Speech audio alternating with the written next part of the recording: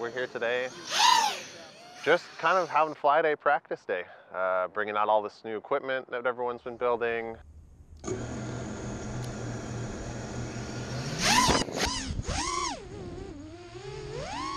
It's kind of indescribable. Uh, the closest thing I can think of is, is like pod racing. You guys have ever seen Star Wars?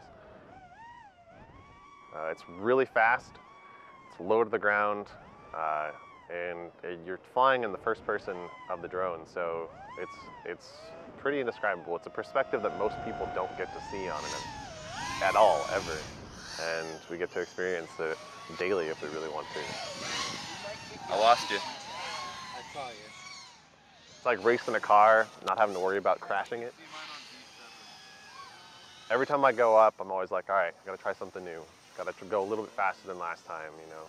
Gotta perform better than my previous flight. And so every time I go up, it's always a constant improvement. I'm like, all right, well, this thing needs to get tuned. So when I when I bring this down, I'll adjust this setting or whatever. So it's all just kind of a constant improvement progress. And see, and I like how your brick is designed where the frame is sitting in the middle of the X. Yep. I, I like that. my goal was to try and get as many people interested and show them how like teach them all the mistakes that I made and teach them how to avoid those mistakes. And so we were able to get at least four or five people from having nothing to now having a functioning quadcopter in the course of three or four months, which is really, really exciting.